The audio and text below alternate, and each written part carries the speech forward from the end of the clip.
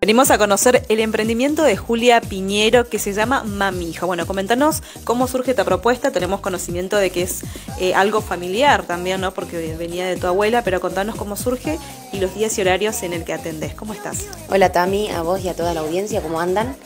Eh, sí, abrimos las puertas hace un poquito más de una semana.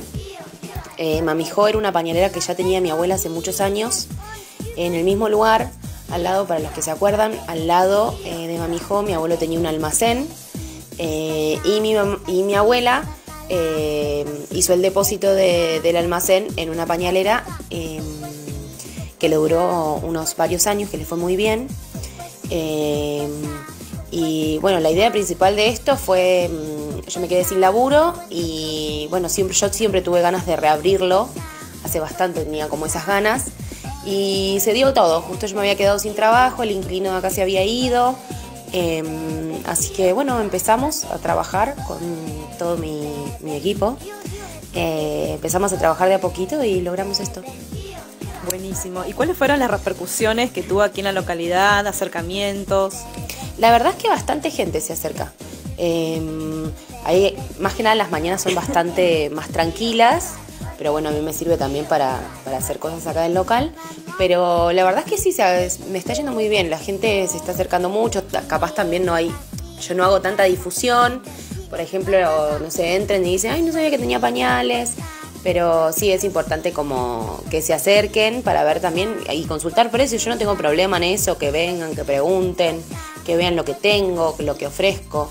Em, bueno, tengo, déjame comentar, tengo pañales, tengo ropita de recién nacido hasta 4 o 6 años más o menos.